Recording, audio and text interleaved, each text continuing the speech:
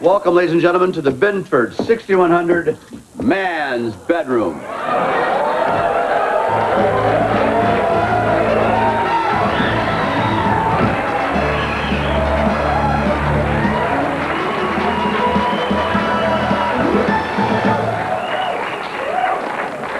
Yeah, this is no babe's boudoir, No honey's hideaway. no wench's way station.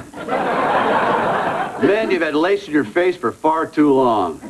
Now it's time to come home to Chrome.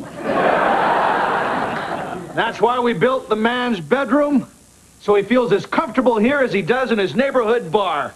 As a matter of fact, in the man's bedroom, we have the neighborhood bar.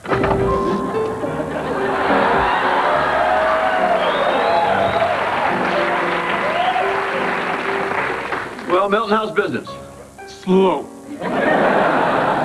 What'll it be? Ooh, uh, perfect Manhattan for me and a Shirley Temple for Al. well, Milton's mixing my highball, let's take a look at the carpet, shall we? Marv, if you want to come in here, we have 100% AstroTurf. It's good for Saturday golf and Monday night football. Milton, I'm open. Looks like it's going to be my day.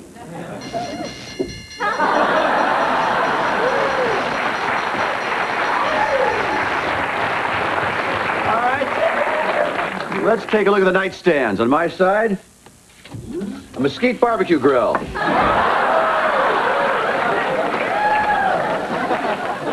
On your side,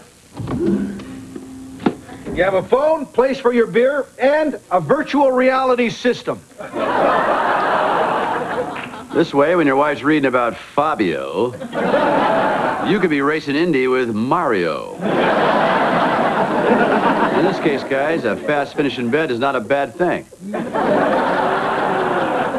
And if you do make your wife happy, she's got the little red button. Press this.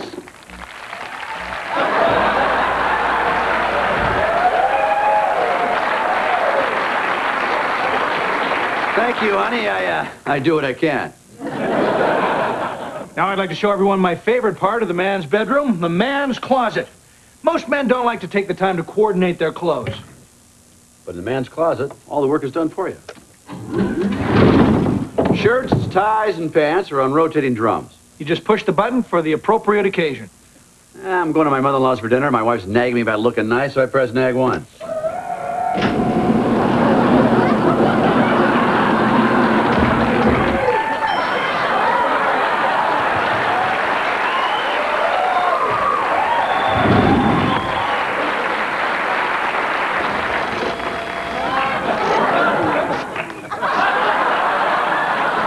A very nice ensemble, Tim. Thank you, Al.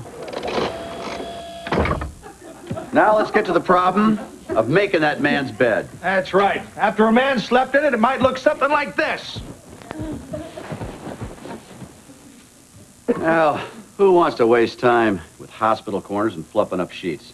You just press a button and the man's bed becomes...